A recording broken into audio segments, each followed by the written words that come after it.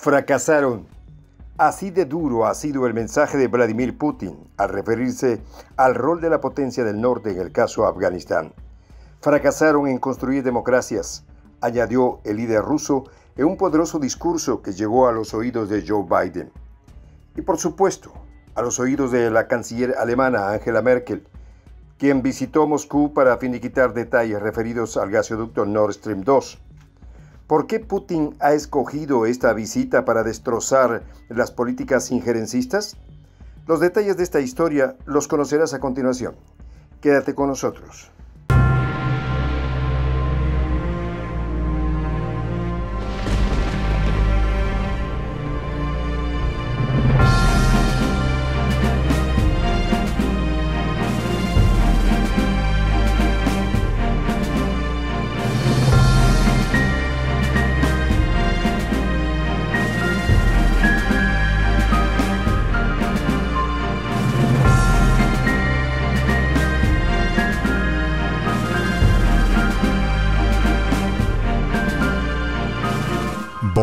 De la patria grande. La canciller alemana Angela Merkel llegó a Moscú para tratar por última vez una agenda bilateral con el Kremlin, ya que se retira de la vida política a sus 67 años. Putin la recibió con un ramo de flores tras 16 años tratando con ella la agenda binacional. Reunidos en el Palacio del Kremlin, al abordar el panorama internacional, Afganistán fue un tema central de encuentro entre ambos veteranos de la política. Si bien Merkel reconoció discrepancias frente al tema, hubo varios consensos sobre la situación. Frente a la actual situación en Afganistán, Merkel reconoció que el desarrollo de los recientes acontecimientos obligaban a establecer un diálogo con los talibanes. No obstante, señaló que estos habían recibido más apoyos internacionales de los que habrían querido. Por el contrario, el presidente Putin hizo un reconocimiento a que los talibanes controlan prácticamente todo el territorio afgano, incluida la capital, por lo que hizo un llamado a reconocer esta realidad para poder operar sobre esta, evitando la desintegración del país asiático. También recordó el conflicto que enfrentó a los talibanes con la Unión Soviética, y como algo similar ocurrió con la invasión estadounidense al país musulmán en el 2001 y que duró 20 años. En ese mismo sentido y dirección, hizo especial hincapié en la importancia de respetar los valores y las diferentes tradiciones culturales del país, ahora en manos de los talibanes, y criticó a las potencias occidentales por intentar imponer su modelo de desarrollo. Putin también dijo que era importante mantener buenas relaciones con el nuevo ejecutivo talibán, respetando su realidad social, y también evitar la injerencia extranjera en la nación de mayoría musulmana. De hecho, Rusia, junto con China, son las únicas delegaciones diplomáticas cuyas sedes son custodiadas fuertemente por los mismos talibanes, pues son precisamente las dos naciones que ya están negociando con ellos y apostando a una estabilización del país sin la presencia de USA. Putin aprovechó la visita de Merkel para afirmar que la operación que por dos décadas ejecutara Washington y la OTAN en Afganistán no fue exitosa, aunque dijo no quería presentarla como un fracaso, y llamó a impedir la infiltración de subversivos encubiertos como refugiados en los países vecinos.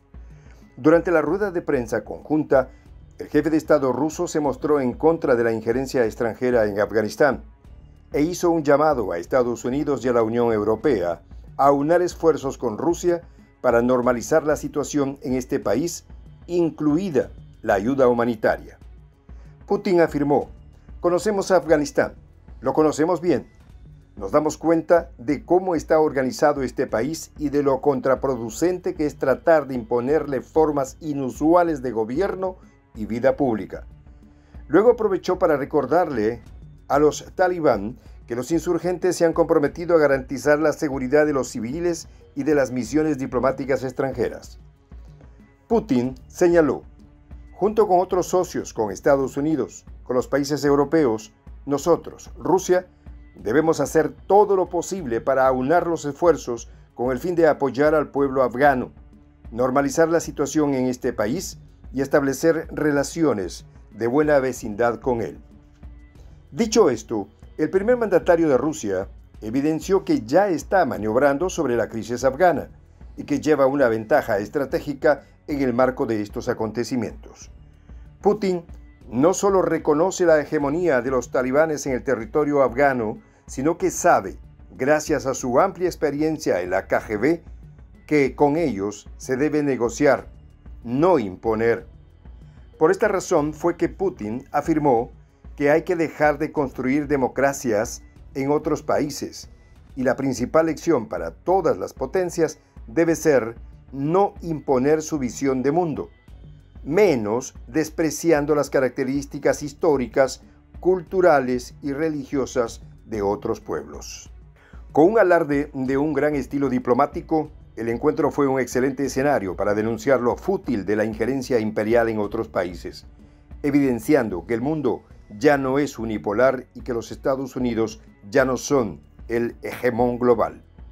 Antes de la reunión oficial en el Kremlin, Angela Merkel, que creció en Alemania del Este, presentó una ofrenda floral al monumento al soldado desconocido que recuerda a los caídos en guerra contra la Alemania nazi y que significó casi 20 millones de rusos muertos.